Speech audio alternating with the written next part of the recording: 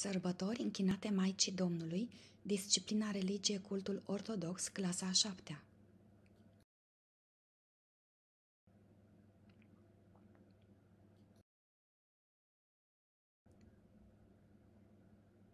Maica Domnului este cinstită de Biserica Ortodoxă de pretutindeni de mai multe ori de-a lungul anului bisericesc, prin sărbători sau praznice care ne amintesc diferite momente importante din viața ei, dar și minuni săvârșite după înălțarea ei la cer.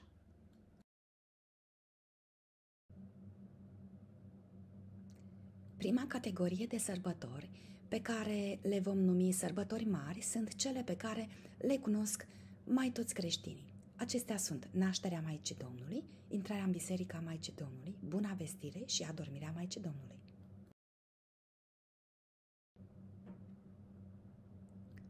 Nașterea Maicii Domnului, pe 8 septembrie, este numită și Sfânta Marie Mică.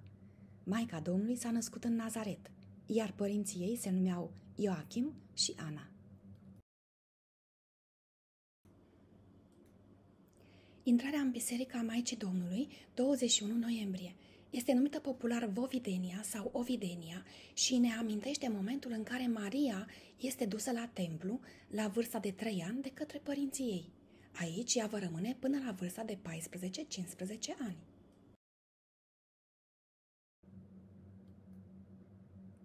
Buna vestire se sărbătorește pe 25 martie. Este numită în popor și Blagoveștenia. Este sărbătoarea care ne aduce aminte de vizita pe care îngerul Gavril i-o face Fecioarei Maria pentru a-i vesti că va naște pe Mesia. Aceasta este una dintre cele mai vechi sărbători închinate Maicii Domnului.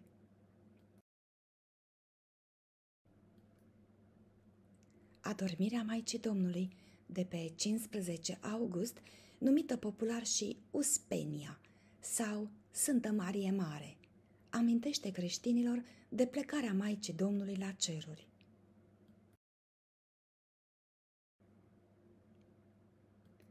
Există mai multe sărbători închinate Maicii Domnului, dar acestea sunt mai puțin cunoscute și le vom numi sărbători mici. Zămislirea Sfintei Fecioare Maria pe 9 septembrie, punerea veșmântului Maicii Domnului în raclă pe 2 iulie, punerea în raclă a brâului Maicii Domnului pe 31 august, acoperământul Maicii Domnului pe 1 octombrie, izvorul tămăduirii, soborul Maicii Domnului pe 26 decembrie.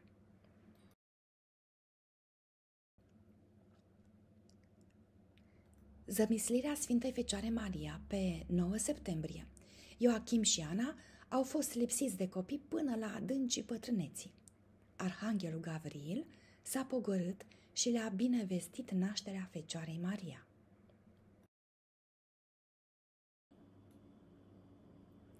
Punerea veșmântului Maicii Domnului în raclă 2 iulie.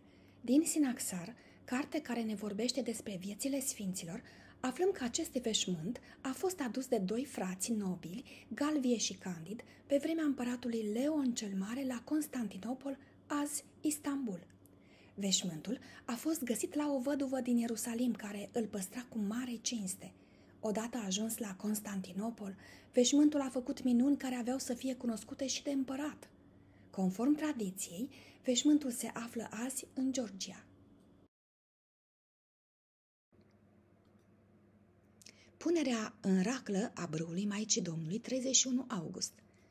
Conform tradiției, acest brâu fusese primit de apostolul Toma, care nu ajunsese la timp la înmormântarea Maicii Domnului pentru a se descoperi minunea înălțării cu trupul la cer.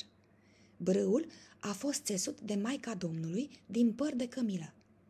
Acesta a fost adus și el în Constantinopol, dar într-un sicriaș de aur și așezat în biserica ctitorită de împăratul Teodosie cel Mare. În urma vindecării miraculoase, împărăteasa Zoe a brodat brâul cu fir de aur ca semn de mulțumire. Acesta a ajuns și în țara noastră, la Iași, în 2001, Alba Iulia, 2007 și Constanța, 2008.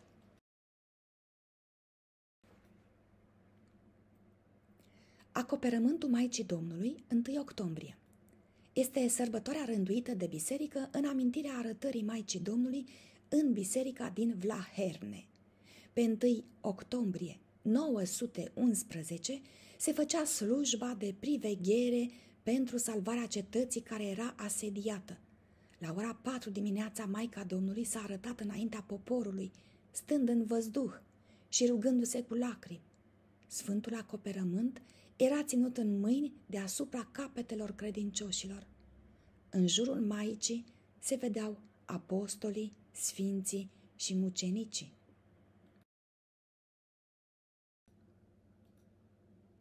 Izvorul tămăduirii, sărbătorit în prima vineri după învierea Domnului, nu are dată fixă. Această sărbătoare amintește de minunea petrecută în apropierea Constantinopolului, când împăratului Leon cel Mare i s-a descoperit un izvor cu apă vindecătoare. Tradiția spune că împăratul, plimbându-se printr-o pădure, a întâlnit un orb care i-a cerut apă. În timp ce căuta, împăratul a auzit vocea Maicii Domnului care i-a indicat locul acelui izvor minunat. După ce a băut apă de la acel izvor, orbul s-a vindecat.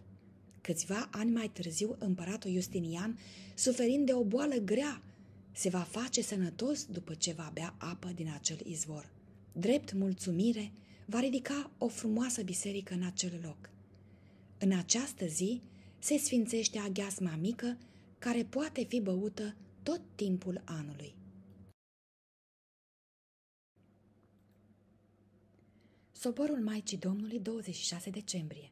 Sobor înseamnă adunare de oameni și vrea să fie ca o chemare de adunare în cinstea Maicii Domnului.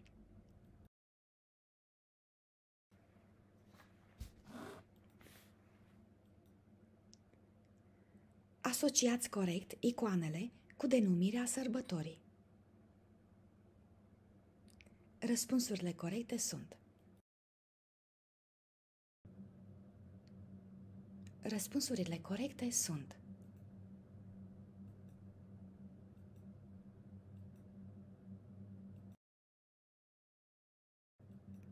Asociați corect icoanele cu denumirea sărbătorii.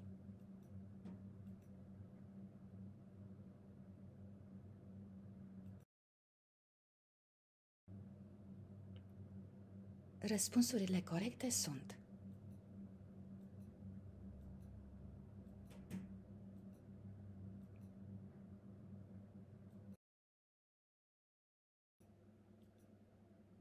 Alegeți o sărbătoare închinată Maicii Domnului. Faceți o paralelă dintre tradițiile locale și alte zone din țară. Exemplu, în zona noastră se pictează icoanele pe sticlă, în alte zone ele se pictează pe lemn.